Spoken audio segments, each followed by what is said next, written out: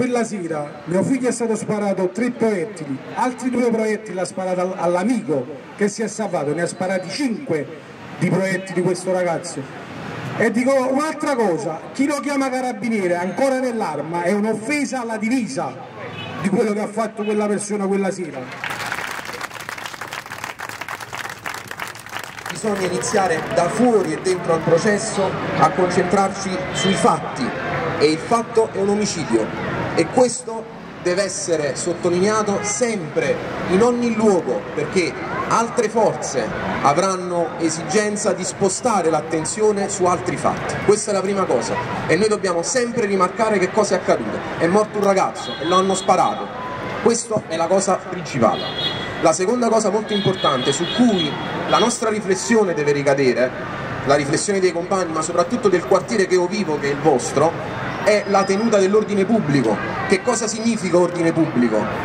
L'ordine pubblico è una categoria vuota, può significare tutto e può non significare niente ed è giusto che noi lo riempiamo con i nostri contenuti e i nostri contenuti devono essere la casa, il reddito, la scuola, le opportunità per i ragazzi, altrimenti all'interno di questa categoria come loro la stanno facendo vivere entrerà solo violenza e barbarie e questo non ce lo possiamo permettere per noi e per il futuro dei nostri figli che è la cosa principale.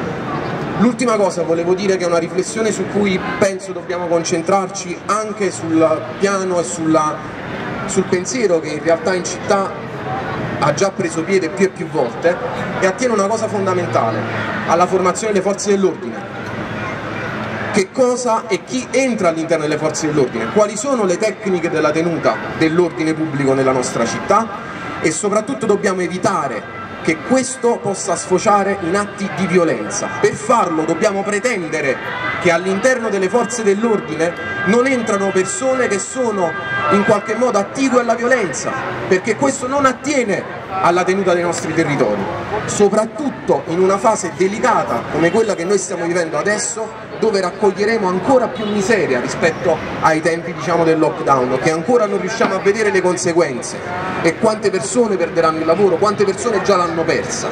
Quindi all'interno delle nostre riflessioni deve assolutamente ricadere che cosa è per noi importante, quali sono le priorità per i nostri ragazzi e per i nostri quartieri e mantenere soprattutto alta l'attenzione sul processo e sui fatti che entreranno nel processo per evitare che l'attenzione sfoci su altre cose che non attengono al fatto principale che è morto un ragazzo minorenne ed è morto sparato.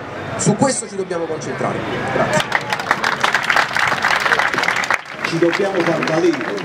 Si deve scendere in piazza per i detenuti, per chi viene ammazzato, per chi viene torturato, per chi viene offeso, dobbiamo scendere in piazza, è in piazza, è tempo della piazza, tutti in piazza. Noi ci aspettiamo giustizia alla stessa mano, che ci sono tanti figli dei nostri quartieri, ma siamo convinti che l'unico modo per costruire un'alternativa che un domani impedisca che tragedie così avvengano ancora quartieri.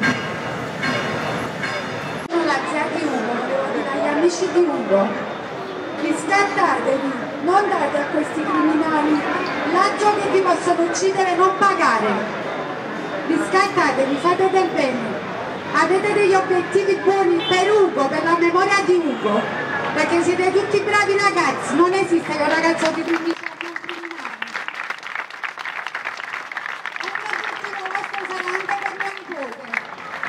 riscattatevi, solo questo. Il giorno dopo all'omicidio di Ugo nella nostra classe, quartieri spagnoli, a Monte Calvario, abbiamo fatto con i ragazzi un cerchio. Un cerchio che è durato 5 ore, in cui insieme abbiamo provato diciamo, ad elaborare questa tragedia, questo lutto che aveva colpito gli amici, eh, eh, i ragazzi dell'età di Ugo che lo conoscevano e che, che gli erano vicini. E la cosa che mi ha sorpreso di più di quel cerchio è stato come questi ragazzini molto più di tanti adulti abbiano avuto diciamo, la capacità di, di decodificare quello che stava succedendo.